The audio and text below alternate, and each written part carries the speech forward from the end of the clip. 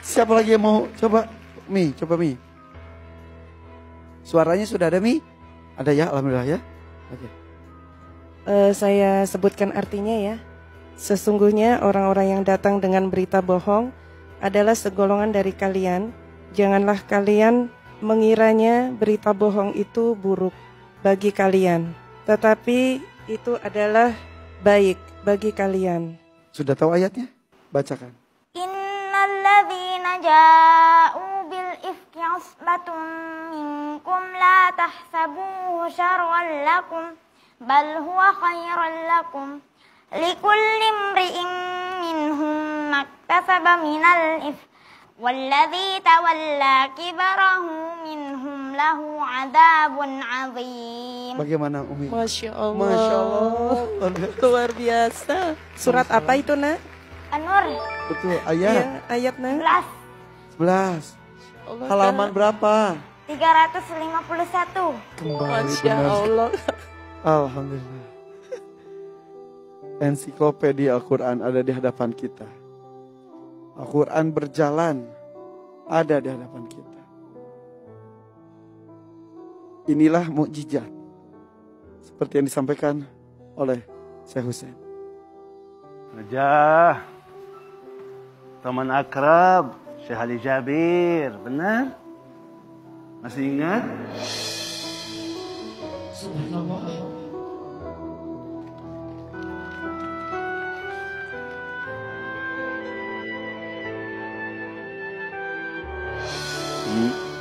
Masih ingat sayang? Masih.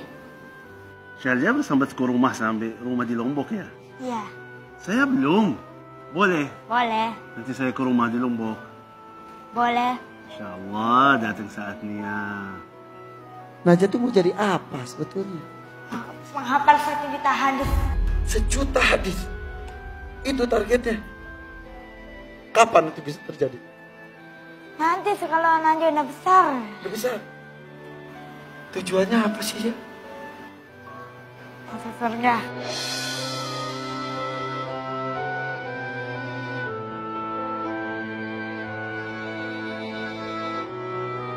surga. Iya. Saudaraku rahmakumullah. Hadza khalqullah. Inilah ciptaan Allah. Allah Subhanahu wa taala tidak pernah kehilangan cara untuk menunjukkan mukjizat Al-Qur'an. Yang hebat adalah Al-Qur'an dan Allah memilih dia dari siapa aja yang Allah sukai. Tapi semua ini hanya terjadi kepada Al-Quran. Saudaraku, mungkin kita tidak punya apa-apa. Kita tidak bisa menghafal Quran.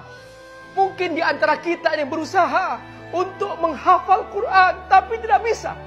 Ingin jadi hafiz, tidak bisa. Saudaraku rahmatullah, kita punya cinta. Kita punya hati nurani. Kita punya perasaan. Ayo curahkan cinta kita kepada anak-anak para penghafal Quran. Muliakan mereka. Semoga Allah memberi kita semua. Jazakumullah khairan.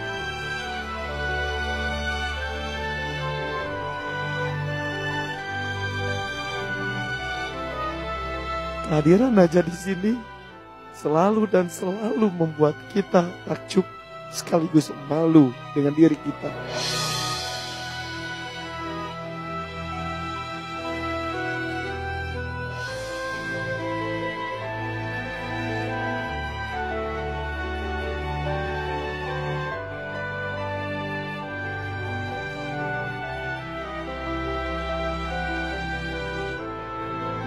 Bersyukur Hafiz Indonesia selalu menemukan anak-anak luar biasa di tanah air ini yang mengajak kita lebih mencintai Al-Quran. Inilah dia satu dekade Hafiz Indonesia 2022. Kita kembali sesaat.